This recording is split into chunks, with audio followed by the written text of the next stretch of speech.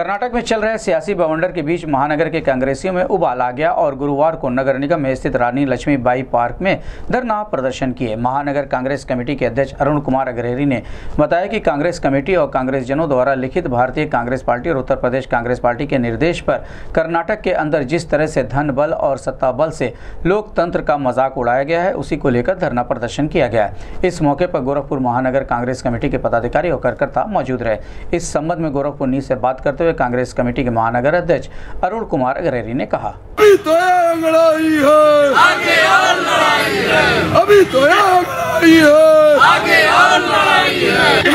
Party जिंदाबाद। जिंदाबाद जिंदाबाद। पार्टी राहुल गांधी। जिंदाबाद जिंदाबाद। कांग्रेस पार्टी प्रियंका गांधी। जिंदाबाद महानगर कांग्रेस जिंदाबाद जिंदाबाद जिंदाबाद कांग्रेस पार्टी जिंदाबाद। जिंदाबाद जिंदाबाद। अरुण कुमार अग्रहरी अध्यक्ष महानगर कांग्रेस कमेटी गोरखपुर। आज का यह धरना कांग्रेस कमेटी के द्वारा समस्त कांग्रेस जन के द्वारा अखिल भारतीय कांग्रेस कमेटी और उत्तर प्रदेश कांग्रेस कमेटी के निर्देश पे अभी कर्नाटक के अंदर जिस तरह से लोकतंत्र का मज़ाक उड़ाया गया धन बल और सत्ता का दुरुपयोग करके लोकतंत्र की हत्या करके भारतीय जनता पार्टी ने अपने सरकार बनाने का दावा पेश किया।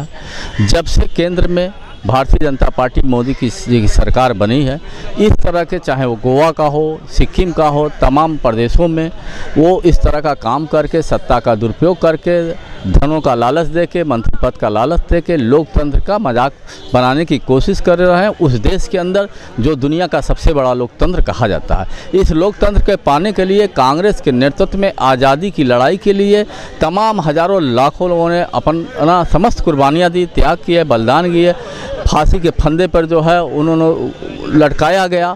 और इसी लोकतंत्र के साथ जब आज इनके हाथ में सत्ता है तो निश्चित रूप से ये धीरे धीरे अपने कार्यों के द्वारा लोकतंत्र की हत्या और धीरे धीरे लोकतंत्र को समाप्त करके तानाशाही यहाँ व्यवस्था लागू करना चाहते हैं, जिसका हम कांग्रेस जन यहाँ पर एकत्रित होकर उनका पुरजोर और कड़ी से कड़ा विरोध कर रहे हैं। और ज़रूरत पड़ेगी ये आंदोलन जिस भी स्तर तक जाएगा, हम समस्त कांग्रेस जन पूरे दिमागी रूप से इसलिए तैयार हैं को हम इस तरह की जो उनके आचरण हैं, उनके काम हैं, उसका जो है बराबर विरोध करते रहेंगे। और उन आज़ादी के दीवानों की, उन शहीदों के अरमानों को पानी नहीं फेरने देंगे। इनके कुछ सिख प्रयासों के द्वारा जिन्होंने जो है इस देश के लिए अपना सर्वस्व न्यछावर किया।